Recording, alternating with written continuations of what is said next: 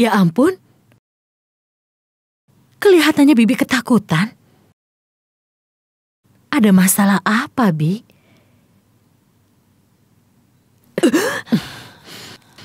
Kau sudah mencoba untuk menghalangi jalanku.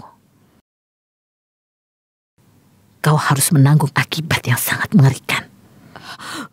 Walaupun kau sudah bekerja keras, kau tidak akan mendapat jawaban. Karena kunci jawaban itu tidak akan pernah aku berikan padamu. Dan kalau kau terus saja mencoba untuk bisa menemukan jawaban itu, kau akan mengalami saat yang sangat mengerikan. Apa kau mengerti perempuan tua?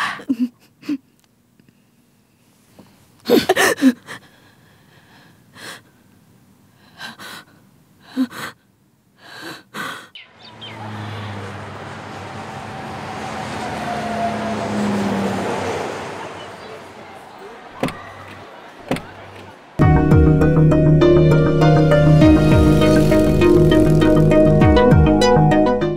kan kita ada di lokasi yang tepat. Kita akan temukan tersangka pertama Ashok Sarna. Dia salah satu dari tiga laki-laki yang punya senjata tertentu.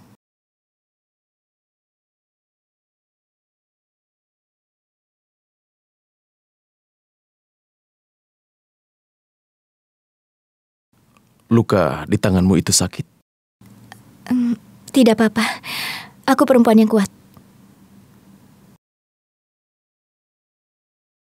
Nana Faruki, kau sudah banyak membantu dalam penyelidikan ini.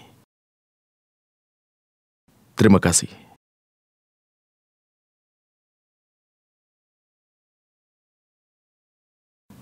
Tuan kan, kalau kau bertingkah normal, aku merasa canggung. Aku tidak terbiasa. Aku punya puisi untuk itu. Jangan mencoba menjadi teman karena aku terbiasa dengan kesepian ini. Jangan mencoba menjadi teman karena aku terbiasa dengan kesepian ini. Jangan terlalu manis karena aku terbiasa dengan kepahitanmu. Terima kasih.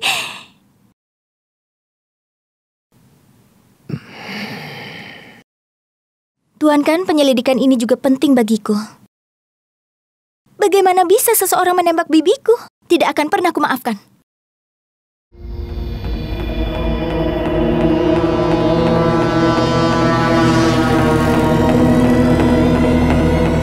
Nana Faruki, Itu orangnya Tuan kan?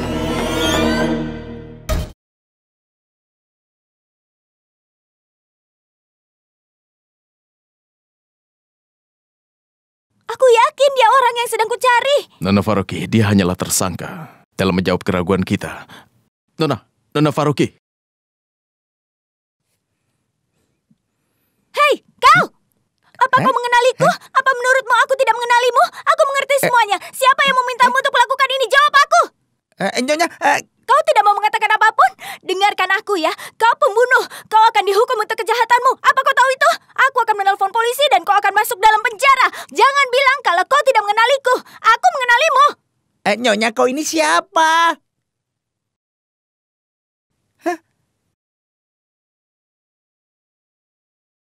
Ayo bicara lagi. Aku bertanya, kau ini siapa?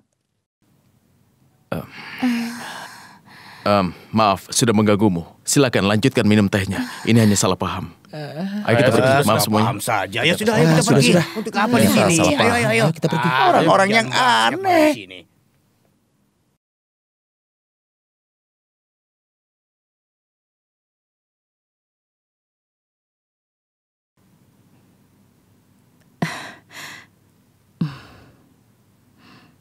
Apa yang akan Rahasia lakukan sekarang ini?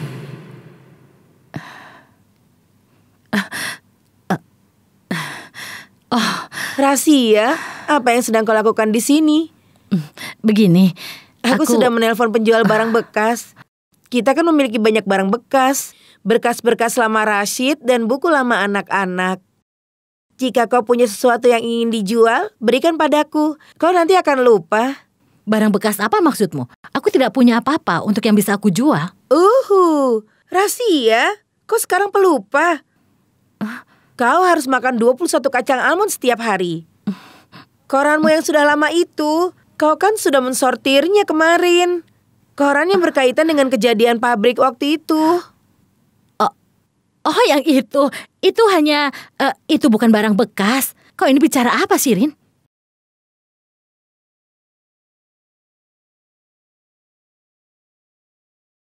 Rahasia punya barang lama dalam lemarinya. Kenapa Rahasia kelihatan takut? Aku sangat yakin kalau Rahasia sedang berusaha menyembunyikan sesuatu. Sebetulnya apa yang dia simpan dalam lemarinya? Aku harus cari tahu. Tuan kan, aku datang untuk berbicara pada tersangka kedua. Tuan kan, aku mencoba untuk bisa berhadapan dengannya. Aku mencoba untuk menakutinya, tapi dia malah mengancamku. Tuan kan, dia mengikutiku. Tuan kan, cepat datang ke sini. Aku ketakutan. Hei wanita, apakah kau mengancamku? Hei gadis bodoh, kau mau lari ke mana? Ha? Berhenti!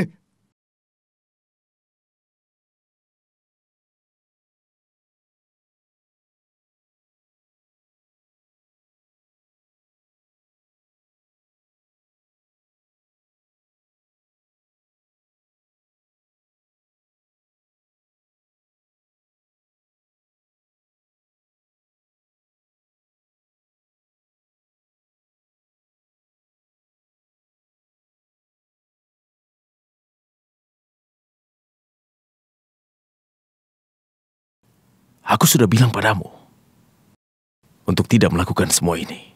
Tapi itu berhasil, Tuan kan. Sekarang kita sudah tahu kalau dua orang itu tidak mungkin yang menyerang Bibi. Orang yang pertama punya nada suara tinggi, dan yang satunya lagi cara bicaranya tidak bagus. Tidak mungkin dia bicara beladip. Sisanya tinggal ragusing.